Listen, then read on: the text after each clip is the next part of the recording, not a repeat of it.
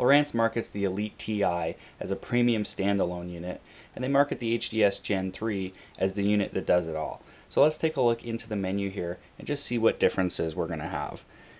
I'm going to go into the pages here and you can see right away with the HDS I can use the keypad um, as it has a full keypad. With the Elite TI I'm going to have to use the touchscreen in order to get into some of these settings here. So we'll go into the system menu and we'll take a look at uh, advanced here. Once we're here we're going to go into features so you notice there's a lot more features available to the HDS Gen 3.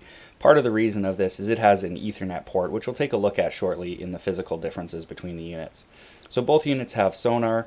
The HDS Gen 3, you're going to notice it has the ability to do spotlight scan. They both can do structure scan. The HDS Gen 3 can do radar, Sirius, satellite, and the Sonic Hub audio server. We also have C-zone control available on the HDS and both units can do autopilot control, albeit it's a, a little limited on the Elite TI, where it can only control the Motor Guide XI5 trolling motor. It will not work at this point with the Lowrance outboard pilot. One other option you'll notice that is missing from the HDS 7 Gen 3 unit is the ability to do the Structure Scan 3D. That is available only on the HDS series. This unit's software currently does not have that, um, but that's about the only feature that's going to be missing from this software version. So when we come to our landing screen here, we see one other option that's only available on the HDS Gen 3 with purchase of an optional video cable, and that is the ability to do video input. This is something that will not work through Ethernet, so if we had a, a unit Ethernet connected to this, it will not uh, transfer the video through Ethernet. It's only available to the display that the video is connected to. Outside of that, the menu, the main menu in the center of the screen with page selection is very similar, along with the pages along the right-hand side here. These are custom pages that you can build. Along the left-hand side, we have your vertically scrolling menu, and uh, there's really no difference that I've noticed here between these two.